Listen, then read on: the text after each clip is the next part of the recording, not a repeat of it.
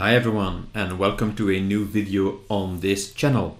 This time we're going to take a look at how you work with certificates in Azure Key Vault and how you bring them down to your Kubernetes cluster so that you can work, for instance, with something like Nginx Ingress Controller and certificates. It's going to be a rather quick walkthrough. We won't go through all the intricate details, but I hope you'll understand when the video is finished how this process works. Now let's set the scene a little bit. So I'm already starting with a running Kubernetes cluster and it runs Nginx Ingress already. I also have a component, you'll see later in the video more details about this, it's called Azure Key Vault to Kubernetes. That's a controller that can be instructed to continuously look at a secret or in our case a certificate in Key Vault and bring it down to your cluster. So for example, I will configure it to look specifically for a certificate in my Azure Key Vault, and it will do so at regular intervals. It will continuously check for that certificate.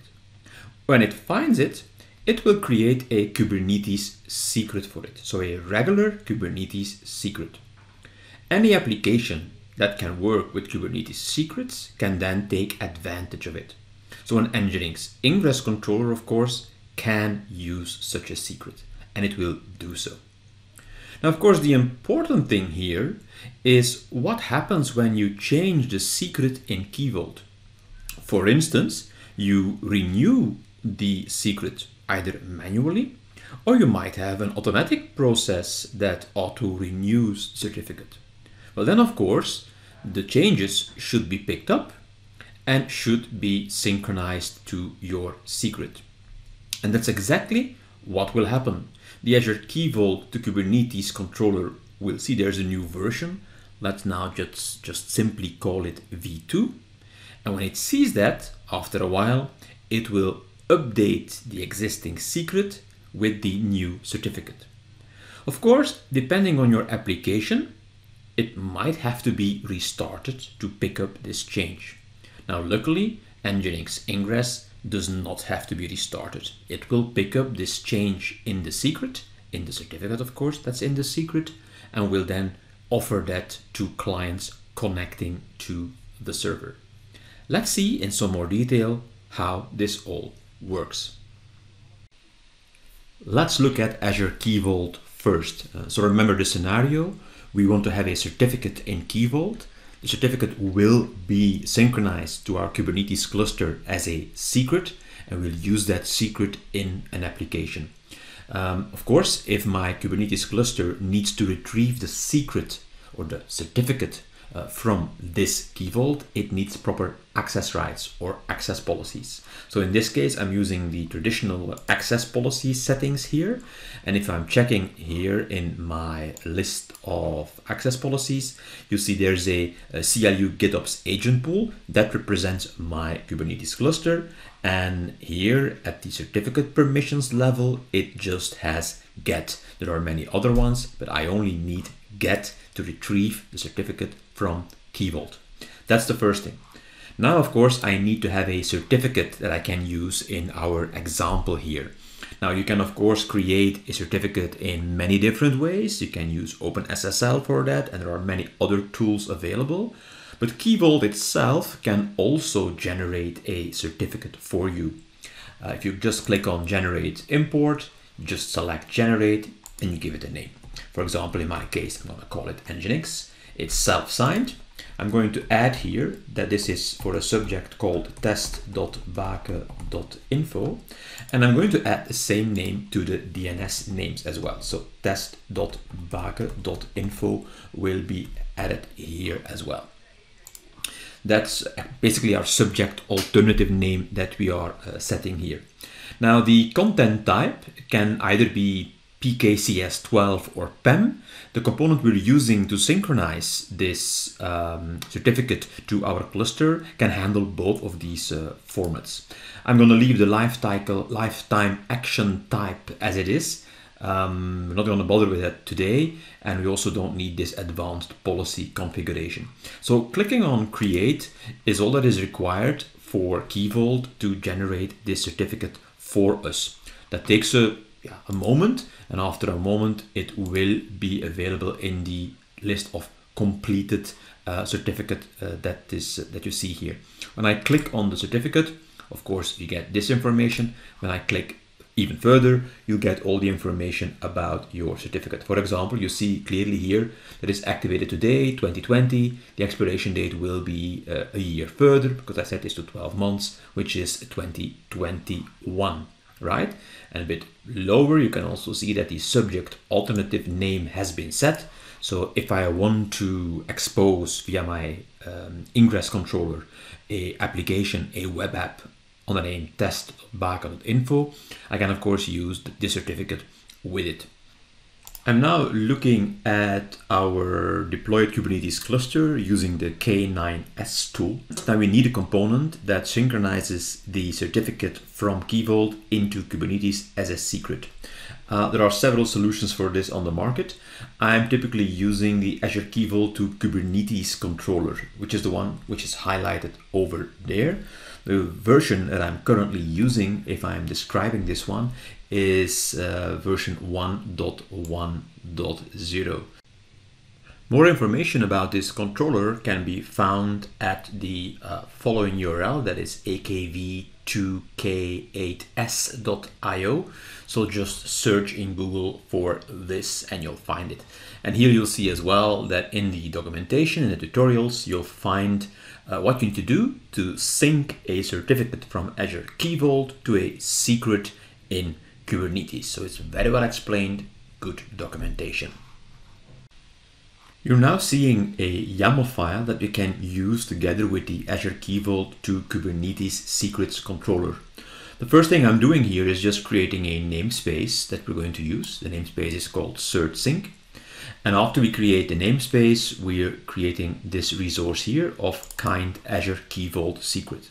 So this is a uh, custom resource definition that the Azure Key Vault to Kubernetes uh, secrets component uh, understands and acts upon.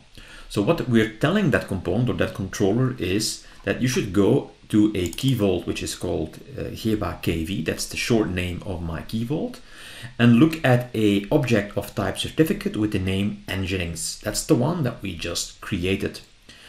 Um, when he finds this uh, certificate in the key vault, he should create a secret for this at the Kubernetes level. That secret should be called nginx-cert. And you need to specify the type that the system knows it has to create a certificate secret uh, for this.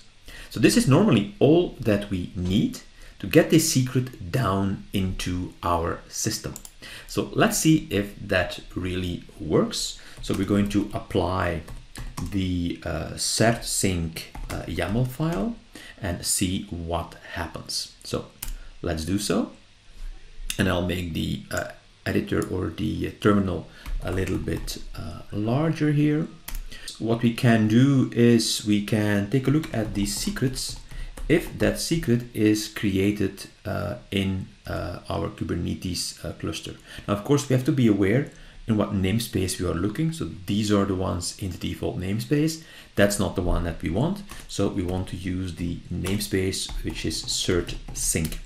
And if you look at that, as you can see there now, it has the Nginx cert secret, the one that we uh, pointed out here, in fact. So the controller has done its work and has grabbed a certificate from Key Vault and created it in here.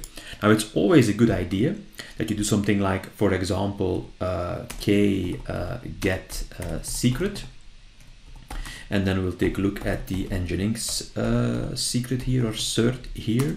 Of course, the namespace uh, should be the cert sync namespace. And I also want to see dash O and then YAML uh, to see what's actually in there. And if we scroll a bit higher, there's a lot of stuff in there, but you should see, and that's quite important, you should see in the data a TLS CRT, which is our certificate. And then of course you also need the private key, TLS.key of our certificate. Now we're going to use the certificate that's in the secret that we just uh, created Um, I'm first going to deploy my application. That's just a sample application, so it's not really important what is in there. It does not contain the ingress definition. And of course, in the ingress definition, we're going to use the secret that we just created. So I'm just going to apply the application or deploy the application uh, to the certsync uh, namespace. Now, if you look at the ingress, that's of course the important part. So what you haven't seen in this video is that I'm actually using Nginx ingress. So the ingress controller is already deployed in my Kubernetes cluster. And of course, with an ingress resource such as this one, which is pre-version 1.19, um, with this kind of ingress resource, I can specify to the ingress controller what he should do. So in this case, I'm saying I'm going to create an ingress called test ingress in the namespace cert sync. I want to use the ingress controller with a class of Nginx. That's fine. Uh, there's actually a label in here which I don't really need, so I'm going to remove uh, this label there. And in the spec of the ingress, we are specifying a couple of things. First of all, we are specifying that we want to use TLS. We want to use a certificate. Yeah. For what kind of host? Well, in this case, other.backend.info, but I actually use test.backend.info, so I'm going to use that URL. It should match, of course, uh, with the uh, subject alternative names that's inside your certificate. Otherwise, Nginx, the ingress controller, will not use the secret that you have um, that you will reference here. And the secret name is, of course, the Nginx cert that we uh, just uh, created. So that's quite important uh, that this certificate uh, really has subject alternative names that match with the host name that you specify here, this case the test.baeke.info. But of course we also have to specify yeah, what's the rule that the ingress controller should follow. So indeed it should listen to incoming requests for test.baeke.info and in this case it should forward all these requests to a service in the same namespace, which is the real-time service, which is listening on port 80. So when I save this and I'm uh, applying the uh, ingress here, so minus f and then ingress.yaml, we uh, can actually do this. Now, if you do kget ing, you should see after a while, of course, that the address is also there, which will be the IP address of our uh, ingress controller. Yeah, that can take uh, a moment, so we'll just let it do what it needs to do uh, here. Most important thing to realize is now that we have put our certificate in Key Vault, we have the Azure Key Vault Kubernetes secret controller that continuously looks at that one and syncs it down to a secret. The secret is Nginx cert in this case. And then we are telling our ingress controller, it could be any ingress controller, it doesn't have to be Nginx, of course. So I'm just gonna one last time do a kget ing and there you see now it will be at IP address 20.73 and so forth. So in my DNS server, this should resolve to this address. We are now in this uh, beautifully designed application and as you can see, the browser is able to use TLS, but of course it's not as secure as we want it to be because although there is a certificate, the certificate is of course self signed. You can see it here. It's uh, issued by and issued to test.baeke.info. It's the one that we created in Key Vault. You can see it's one year valid here. And if you go inside the details, you also see that there is a subject alternative name, which is set to test.baeke.info as well. We explicitly set that. So that is working. So the ingress controller is doing its thing. It is also uh, correctly using the certificate that's in a Kubernetes secret to create a secure connection here, but of course self-signed, uh, so it's not, uh, not fully secure. Okay, let's now see what happens when we update the certificate. We're now back in Key Vault with our existing certificate, which was valid until 2021 we're going to issue a new version now. I'm doing this manually here. Of course, there could be a automatic certificate renewal process that's behind it. So here again, generate self-signed. It has kept all the stuff that we already typed in the previous uh, one, but I'm going to make this valid now for 24 months so we can see the actual difference. So I'm gonna click uh, create Now we have indeed temporarily these two versions here, but when I refresh, you'll see that the current version is expiring in 2022 and the older version, the old certificate, is the one that expires in 2021. Now let's see what happens if this gets refreshed into Kubernetes and if Nginx is picking up this new certificate.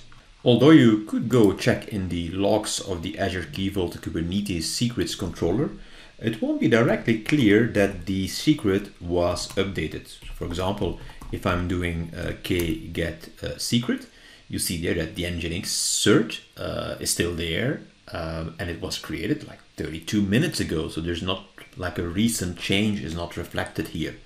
Um, of course, if you go a little bit deeper and you look inside the secret uh, and you use dash o YAML to do so, we've got a whole lot of stuff being printed out here. And as you can see, there was also here a operation of type update. That operation was at 1420 um, which is uh, behind the creation timestamp of 1354. That matches indeed with my with my update. So you can see indeed that an update uh, was made here. When I'm going to my application, I already did that and I refresh it.